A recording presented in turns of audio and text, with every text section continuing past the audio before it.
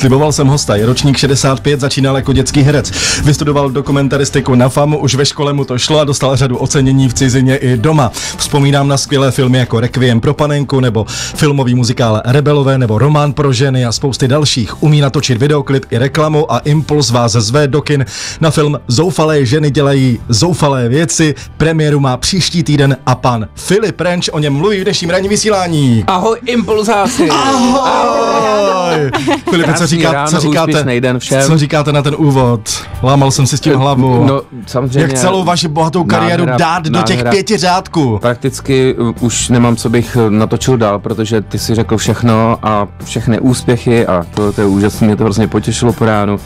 I, i na FAMu jsme měli, měli krásný festivaly, které objeli jsme různý, různý evropský festivaly na FAMu, i s famáckými filmama jsme kdysi soutěžili docela úspěšně, jsme byli taková silná generace s Honzou Svěrákem a s Honzou Řebejkem a tak dále, takže doufám, Takže- že, doufám, že nás čeká něco i, i v budoucnu, i tento Takže rok. dneska snídá s impulzovými úspěšný mladý muž a vy můžete psát dotazy na 7743938. Naladili jste Impuls, s náma režisér Filip Renč. Film Zoufalé ženy dělají zoufalé věci je příští týden v kinech, je podle knižní předlohy Haliny Pavlovské. Chodili jste spolu na kafe? S Halinou, No. no. jsme spolu chodili. Na kafe. Ještě ne. Na kafe. Ne na kafe, ale chodil jsem k ní dom, domů, má krásný, krásnou pracovnu takhle pod Kavčíma horama, takovou kulatou kruhovitou, kde vidět na celou Prahu a tam jsme vlastně ten scénář do- dolaďovali, do, domýšleli jsme různý gegy, takže ten film není úplně přesný přepis té její, její knížky, protože tam dodaných spoustu nových, nových situací a nových, nových postav. Musela to odsouhlasit. musela, musela, musela. A, byla m, přišli jste někdy do křížku? Někdy těžká cesta, aby Jo. jsme našli nějaký kompromis, ale... tak, Dohadovali eh, jste se u toho? Jo, ale vždycky při, při láhvičce proseka, tak ono to byla taková uvolněná atmosféra. Ona je velice, velice, velice vstřícná nějakým filmovým nápadům a mým a, a když ví, že to je lepší nebo že se to dá udělat jinak, tak je naprosto vstřícná, komunikativní. Není, není, ješi, není to ješitný autor, jako bejvaj. Jo, jo, jo, muži, muži většinou. Ano, ano, muži většinou. Okay. Starší. Starší muži, dobře. Kde se film odehrává a co se ti na něm líbí, Filipe? kde se odehrává. Mm-hmm. Tak ona je to taková mozaika prostě ze života vlastně pomalu stárnoucí jako dívky, ženy a ne, nemá to nějaký úplně pevný skál, pevný příběh, kla- klasicky vystavěný eh, scénář. Eh, Je to taková pocitovka emoční mm, o tom, jak hledat sama sebe, jak hledat nějaký lidský štěstí, jak hle- hledat partnera přitom vlastně dělá, dělá ta hlavní představitelka Olga, kterou hraje Klára Icová, spoustu, spoustu chyb a spoustu pro diváka srandovních chyb. A odehrává se to tady a v Těrchově na Slovensku. Takže jestli tě dobře vnímám, je to snímek o neustálém hledání lásky. Jedn, je, jedním, jedním slovem řečeno. A, ano, dost krkolomným, krkolomnými způsoby. Dobře. Ty jsi taky našel nedávno, dokonce si skončil v Chomoutu. Bylo to romantické, ta svatba? Jo, romantické.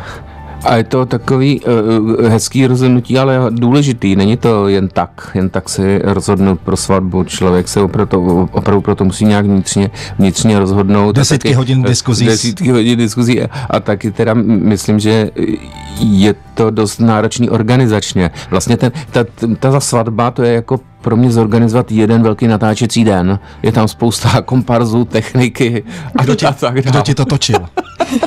Točil mi to můj kameraman Petr Hojda. V pořádku. Moje další otázka byla, jestli to bylo finančně náročné, ale to vlastně naznačil. Tak každá svatba je finančně A tak jako můžeš náročná, prozradit ale- rozpočet ale... ale- svatby režiséra Filipa Renče. Tak určitě přes 200 to určitě, určitě bylo. No.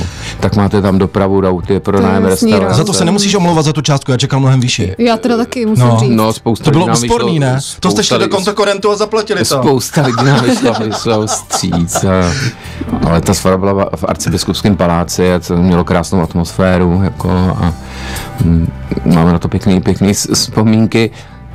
Ale myslím, že jednou to stačilo, že bych to musel opakovat, tenhle ten proces t- té svatby a schánění příbuzných a známých dohromady na, jed, na jedno místo, to Už je, nemusím už. Filipe, už je to sestříhaný? Ne, ještě, ještě to máme v plný dílce. Čekám, že z toho uděláme seriál. V pořádku. Ty jsi dítě štěstěný, protože na štědrý den se ti narodila dcera, to chceš. To, to, to bylo krásné, protože jsme to čekali po novém roce, nějakého Ano. druhého, třetího Ano. a přišlo to, přišlo to na štědrý den. Takže všechny různý plánované návštěvy a takhle příbuzných a a slavení stro, stromečku a tak to prostě všechno odpadlo. No, v půl jedenáctý dopoledne se narodila Sofie Marie a tak jsem trošku mi dává zabrat Sofie Marie, jo, protože jsem zvyk, zvyklý se hezky vyspinkat a tak, ale tak stáváme k ní v noci. A, mluvíš, a, mluvíš, a, mluvíš rád o rodině teďka? Určitě ano, viď? No, je to pro mě změna velice pozitivní a má se člověka vracet, za kým vracet a je to, je to pěkný mít zázemí, určitě. S Edem Filipem Renčem si povídám o filmu Zoufalé ženy dělají zoufalé věci, který má příští týden premiéru v českých kinech. Petr se nás ptá přes SMS linku, kdy jsi byl naposledy v kině a nepočítá Vítej pracovní projekce svého nového filmu. A to je těžko počítat, protože byla naposledy včera v Bratislavě, kde jsme měli před, před premiéru. A jinak samozřejmě rád, rád, rád, chodím, rád chodím do kina. A poslední film na, teďko si nespomenu na, na, na, poslední film. Star Wars to nebyly, Star Wars to určitě nebyly. Ne. Um, teď nevím, opravdu Tak nevím. Nech, nech to vzadu uložené a já jdu k dalšímu dotazu. Dáša se ptá, co všechno dělají zoufalí muži. jo, to je klasická otázka, ano. Mm. No, zoufale hledají nějaké... Zoufale ženy. Nějaké to je naše celoživotní náplň. Jako. Pojďme chvilku pokecat o rodině. Ty jsi vyrůstal v 70. letech. Jaká je rodina dneska? Takové intelektuální zamýšlení Filipa Renče. V 70. letech. No vyrůstal jsi v 70. ne? No i v 80. Jo, jasně, ale myslím, že v 90. Jsi, tvůj intelekt se formoval v 70. Nakonec vlastně i dneska člověk prostě by měl růst v pořád jaká je rodina, nevím, mm-hmm. tak, tak snad je to takový rychlejší všecko, je to takový rychlejší hodně. Díky technologiím? Ale eh, ta rodina, jo, já ji začínám tu rodinu, takže já moc nevím, jak, jak vlastně funguje dneska rodina, protože jsem v tom nováček. Tak když jsi začátečník, jak se ti po svatbě a narození Sofie ten život změnil konkrétně? Tak je to to noční a vstávání několikrát. Noční směny? Je to takový trošičku, člověk musí ubrat z té své e, sobeckosti a pohodlí a musí to věnovat tomu dítěti, který se stává šéfem domu jako, a mýho času. Tak e, v tom se to určitě změnilo, protože já se rád přispím a teď prostě stávám máme každý dvě hodiny. Dobře, kromě nočních směn? Ubylo sexu? O tom, o tom pomlčíme. To ještě pořád šesti nedělí, ne? Je šesti nedělí, to se Jasně, nesmí. Jo, to se nesmí, to mám zakázané. Bude vlastně. teda v tom případě, budu pře... Už odpočítávám čárky, jako kdy to, kdy to skončí, si dělám poznámky v diáři. Dobře, dobře, když jsme u těch poznámek v diáři, já jsem tě včera lustroval takhle napříč uh, sociálníma sítěma a internetem na... To se musel dozvědět zajímavý Bulvár věci. o tobě vlastně po celý roky píše a psal, že jsi sukničkář. Jak se s takovou nálepkou žije? Ale tak docela dobře, no, docela, docela dobře. Tak Otevírá ti to dveře ke sponzorům? Ne, tak eh, já myslím, že eh, každý si prochází nějakým životním obdobím a Myslím, že každému normálnímu chlapovi se líbí, líbí, líbí ženy a má jich za celý život třeba spoustu partnerek a kamarádek a tak se tomu říká sukničkářství. No, mm, já si myslím, že jsou to období, má člověk prošel a který jsou za mnou víceméně. Takový dramata teďka nebudeme probírat, jasně. No. Na co jsi v životě pišný? Na co jsem pišný? Mm-hmm. No, tak samozřejmě v poslední době určitě na dceru, která se mi moc líbí, je milá na manželku, na Marušku a na to, že jsme ten film eh, Zoufalé ženy dělají zoufalé věci po mnoha, mnoha náročných peripetích a hereckých castingách, že jsme to dotáhli do finále. Uh-huh. A co bys vymazal? Z dneška. to je jedno. Co bys vymazal v životě? Hmm, co bych vymazal? Uh-huh. Asi různé moje politické aktivity. Posluchač Mirek se ptá Filipa Renče, našeho dnešního hosta, který přišel mluvit o novém filmu Zoufalé ženy dělají zoufalé věci. Která dekáda tě bavila nejvíc? Asi naráží na to, jak jsme se bavili, že si vyrůstal v 70., 80. i 90. letech. A rosteme stále dál. A rosteme stále, stále neboť jsme stále já, já odpovím na to a jenom ještě odpovím na tu otázku a už jsem si vzpomněl, co jsem viděl naposledy v kině. Byla ano. to vražda Forint Expressu. Moc hezky udělaný, moc hezky udělaný film, moc hezky. Takže to, to je to, co jsem viděl naposledy v kině.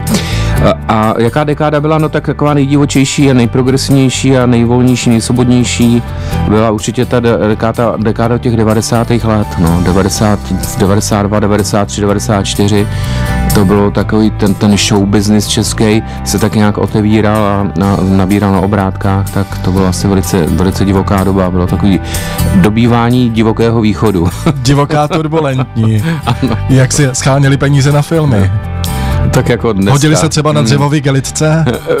Já myslím, že určitě některé filmy se natočily s penězma v igelitce. nevím, Jakože se jezdilo s ta- který, taxikem v igelit, s igelitkou s penězma na natáčení. Ono to sfinancování filmů vlastně nemá vůbec žádný jakoby pravidla. Ono je to po každý jiný. Na to není žádný klíč, jak se dá film zafinancovat. Máte sponzory, máte televizi, máte, máte granty, máte soukromí peníze. Po každý to polepíte nějakým jiným způsobem. Ale já nejsem producent, takže já je schánět nemusím ty peníze. Už 18. ledna se můžete mrknout na film Zoufalé ženy dělají zoufalé věci. Impuls je mediálním partnerem a režisér Filip Renč, který s náma dneska ve studiu snídá, prozradil, že tam prý logo našeho rádia dvakrát zazní. Dvakrát, jo, jenom. No znělka, znělka a nějaký, nějaký zprávy. a jenom tak, ale dvakrát, tak jo. Já tady, já tady o tom filmu už mluvil jo. desetkrát.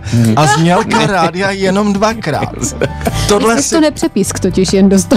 Jo, počkej, a to Fanda, hele, půjdu hned na kobereček po vysílání a proč to nebylo jenom v jednom stopu, proč jste o tom mluvili pořád? No, protože jsme přece mediální partneři. Kde byla nějaká zvuková díra, tak jsme tam hnedka dali Radio Impuls, takže myslím, že. Jo? lidi to tady, jo, jo, lidi to tam poznají. tak všechno je vyžehlený, to v pohodě. Určitě děkujeme za podporu jako k tomu filmu. 18.